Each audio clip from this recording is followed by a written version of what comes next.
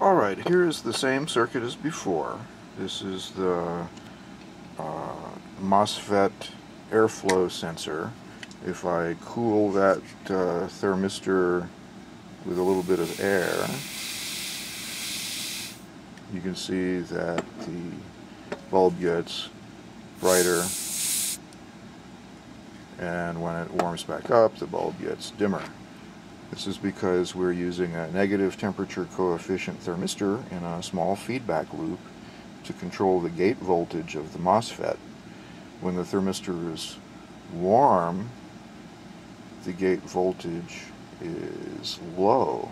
When the thermistor is cold, the gate voltage is high, and it turns on the drain source channel of the MOSFET. But we're in the linear uh, conductance region of the MOSFET, so the MOSFET's acting as an amplifier, not as a switch. Okay. Alright.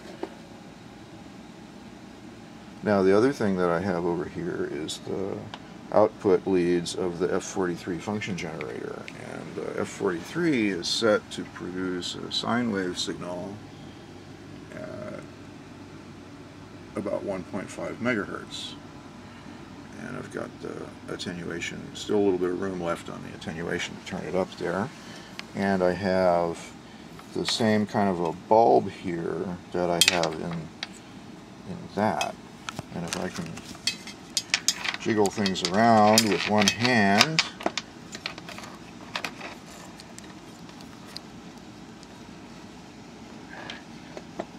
still still. This is worse than trying to pick a tick off a dog.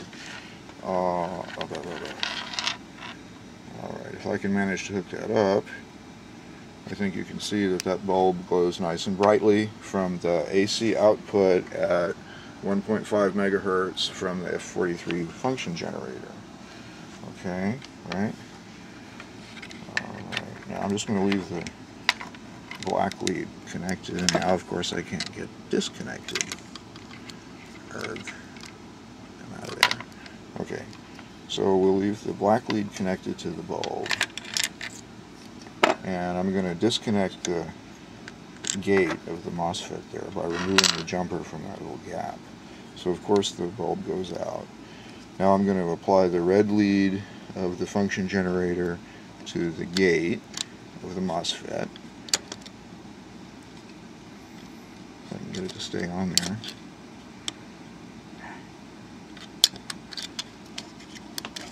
like that. Okay, so the red lead is on the gate. Come here, you.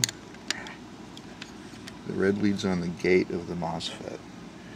And the black lead of the function generator is on the bulb.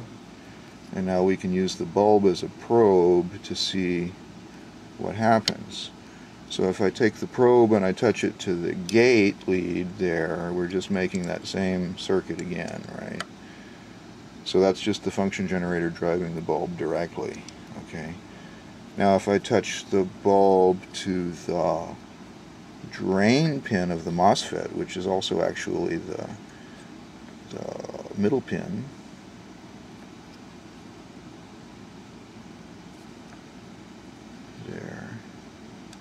Now I'm turning the MOSFET on, of course, with the function generator signal. So the MOSFET controlled bulb lights and also the test bulb lights. What about if I touch the source though? Same thing happens, right?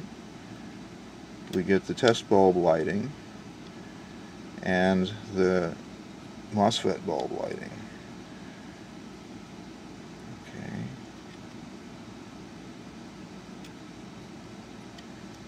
Well, that's okay, you say. You're applying a voltage to the gate of the MOSFET, and so it should be turning on, right?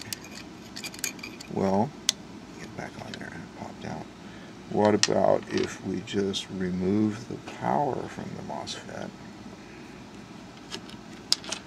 and we remove the load from the MOSFET? Now let's see what happens. We probe the drain,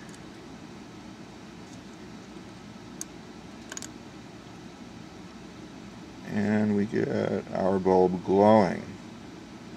We probe the source and we get our bulb glowing.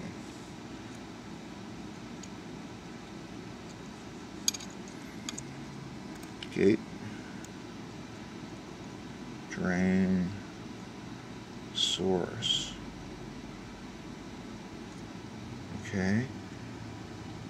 So the MOSFET is just sitting there, open circuit, but it's able to pass AC current from the function generator through the bulb from gate to drain and gate to source even though we know that in a functioning MOSFET there's no current path except through capacitance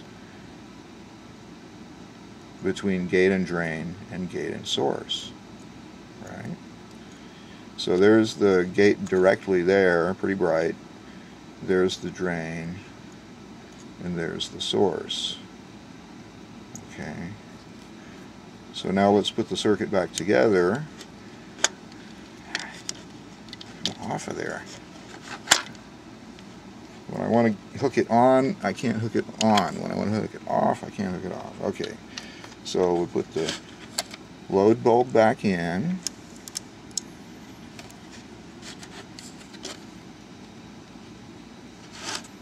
position that thermocouple. Put the gate jumper back on there, like that. And hook the power back up.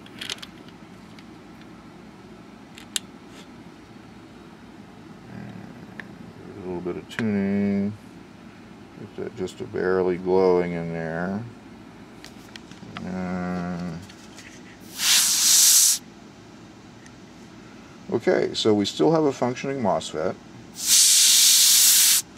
And we showed that with the MOSFET disconnected from its load, its power supply, and the other components in the circuit, that it will pass AC current, a substantial amount of it, between the gate and the drain, or between the gate and the source when it's given a signal uh, from the function generator at about one and a half megahertz.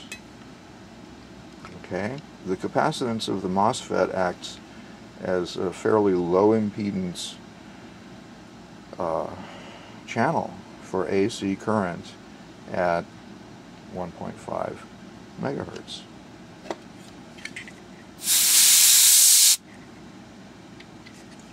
Resistor's a little far from the bulb there.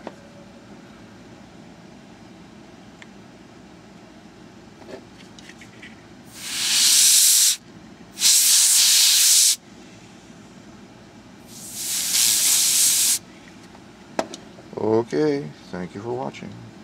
MOSFETs pass AC from gate to the other pins without affecting their functioning. Thank you for watching.